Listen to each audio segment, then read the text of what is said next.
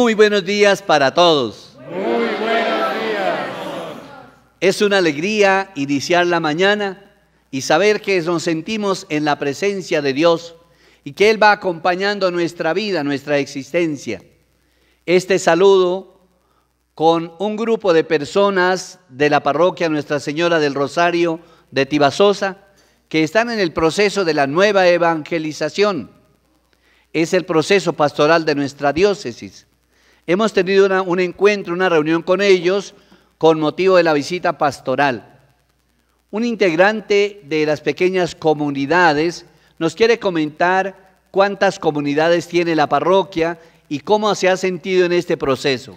¿Su nombre? Vladimir Montero, monseñor. Muy buenos días.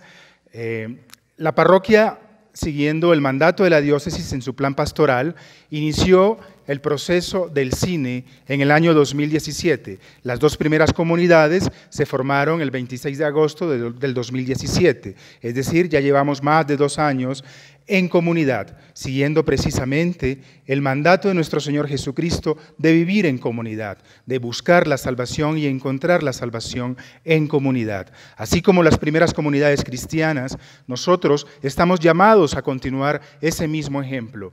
Y es una experiencia muy linda, Monseñor, que se ha venido desarrollando en la que el crecimiento espiritual de todos los que hacemos parte de las diferentes comunidades ha sido bastante notable y enriquecedor. Eh, podemos decir, eh, Monseñor, que a raíz de esta experiencia de las dos primeras comunidades, ya en la parroquia eh, se encuentra actualmente en, en, formación, por decirlo de alguna manera, ya dos pequeñas comunidades que se están formando. Una ya está en el proceso de coinonía y la otra está actualmente en casa de oración. Bueno, tenemos a otra persona que todavía no está en comunidad, pero su proceso está en formación. ¿Tu nombre? Mi nombre es Alejandra, pertenezco al grupo de Coinonía. Es una experiencia maravillosa volver y renovar nuestra fe, iniciando por,